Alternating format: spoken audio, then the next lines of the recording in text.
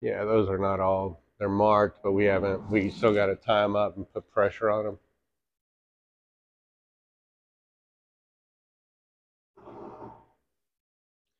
And you can see our mufflers that were like three foot of the end of each branch is, uh, is flex for a muffler.